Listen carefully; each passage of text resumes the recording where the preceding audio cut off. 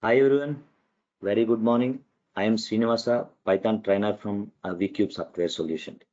So agenda of uh, today's meeting is, you know, what is Python and why Python is popular nowadays, uh, features of the Python and where Python can be used, and most importantly, how a uh, how we can learn Python easily.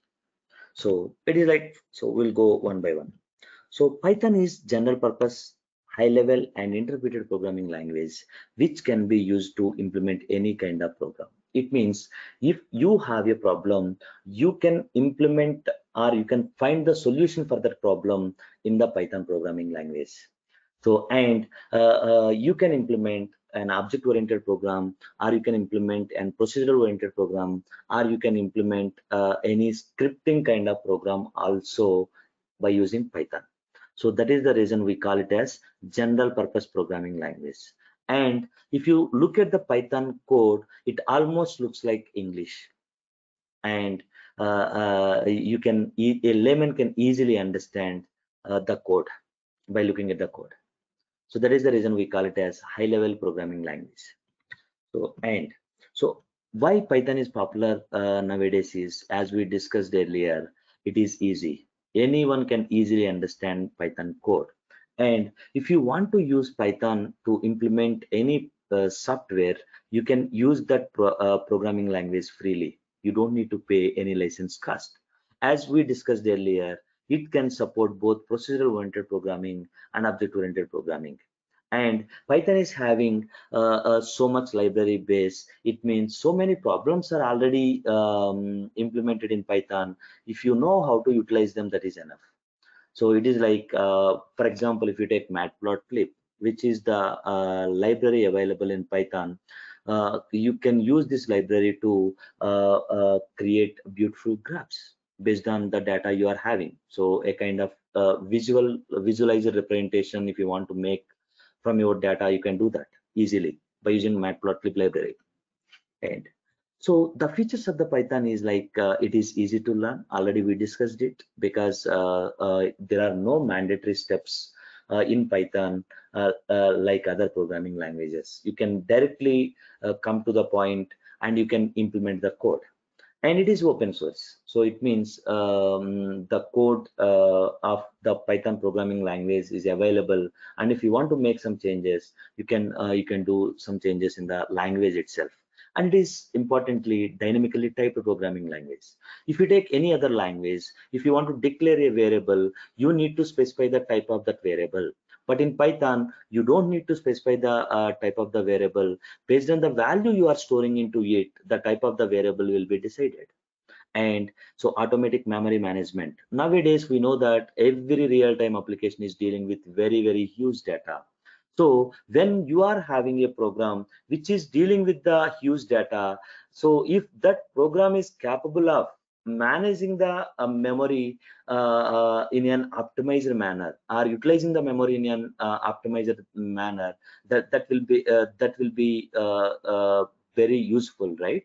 So python is having automatic memory management um, system where you know memory will be utilized in an optimized manner. I will give you one example for example if you take another uh, uh, any other language like c or uh, c++ java. So if you take two variables like int a and int b so into those two variables you store value uh, 10 uh, uh, into those two variables. It is like a is equal 10 and b is equal 10 though you have stored the same value into two different variables so the java will allocate two different memory locations as you are having two different variables.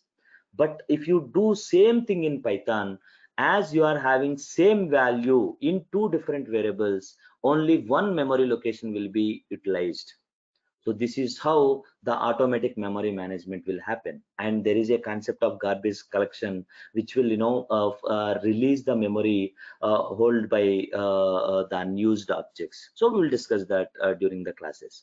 And as i told you earlier it is having very good library base. It means so much code is already developed in python and it is available as libraries and modules. If you know how to utilize that that is enough and python is interpreted programming language.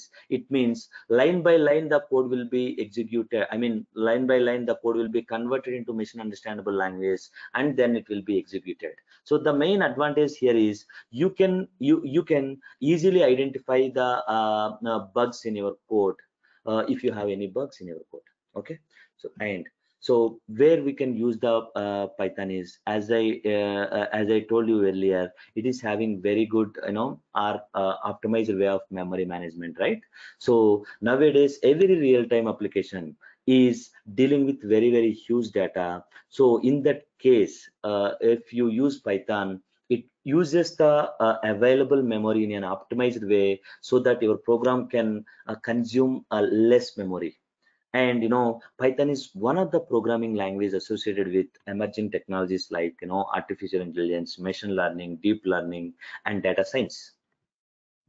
So why vcube so that, that we till now we have seen um, what is python and why python is so popular uh, like that. Now we see why vcube so what is the uh, special thing we have with vcube so that you can learn python easily so it is like we discuss each and every concept with a practical examples. So here we are not going to teach you theory. We teach you everything in a practical manner.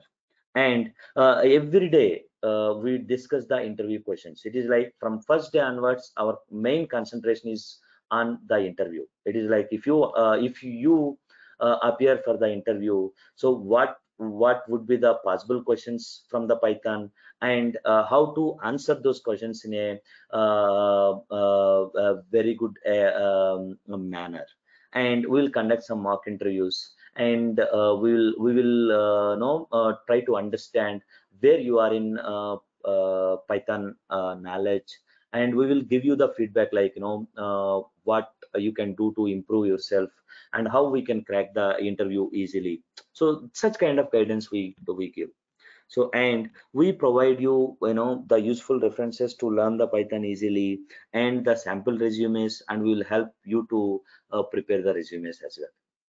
And if you join for full uh, full stack python course so we'll discuss uh, the html css javascript complete python and then django and the database. Along with these things uh, um, we discuss about github uh, which is used to uh, store your code in real time. And you know we will make you do on real time project. So i will give you one concept and i will uh, create a kind of real time environment where you know you discuss the uh, requirement and you finalize the requirement and you design the requirement and then you start developing it. And if you have any doubt anyway i'm there to uh, help you help you on uh, uh, to uh, you know complete the task. So and yeah finally that's it. Thank you